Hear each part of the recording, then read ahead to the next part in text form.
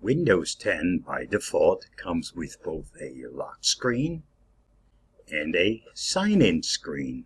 Sign-in screen and lock screen are great if you're working on a computer that has more than one user or you use your computer in a not so safe place.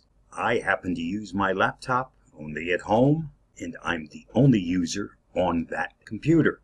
A lock screen and a sign-in screen are a little bit redundant and if you reboot your system quite often it can be a real pain. Let me show you an easy way to bypass both the lock screen and the sign-in screen. Start by opening a run command. And the easiest way to do that is to use the shortcut key combination of the Windows key and the R for run key. Once that's open, type in net plwiz. In case you're interested, that stands for Network Places Wizard. Say OK. Once this opens, you'll notice it says user must enter a username and password to use this computer.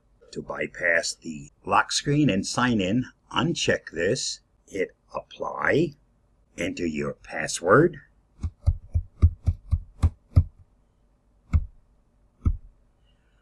confirm it,